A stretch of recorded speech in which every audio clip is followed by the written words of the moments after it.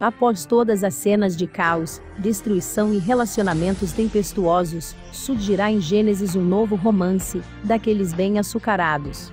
Nos próximos capítulos da novela bíblica da Record, os telespectadores acompanharão o desabrochar do amor entre os jovens Omar e Leora. O novo casal começará a se desenvolver por causa do castigo imposto pelo rei Abimeleque a seu filho.